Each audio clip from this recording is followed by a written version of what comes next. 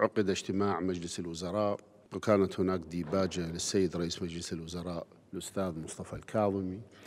تحدث فيها عن مجمل ما يحف من تحديات ببلدنا وعرج على السياسات التي تنتهجها هذه الحكومة.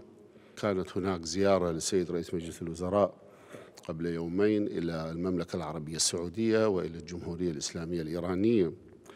هدفها هو الحفاظ على هدوء المنطقة واستقرارها بما يخدم مصالحنا وأيضا نقاشات عن الشراكات الاقتصادية وعن مسائل الأمن الغذائي لبلدنا وقضايا الطاقة والمياه خاصة مع الجمهورية الإسلامية الإيرانية. كان هناك تعريج أيضا على الاتفاقية الصينية وكيف أن هذه الحكومة رغم الحملات التي تشن عليها من جهة هذه الاتفاقية أنها طبقت هذه الاتفاقية وبدأناها بمشروع المدارس وبنائها فيما يتعلق بالقرارات التي اتخذت هذا اليوم.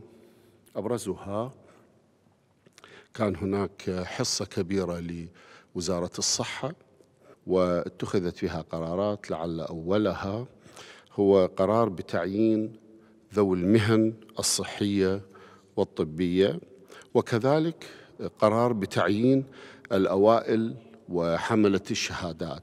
اليوم مجلس الوزراء اتخذ قرارا بتعيينهم وإن شاء الله ستشهد الأيام القادمة تطبيقا لهذا القرار.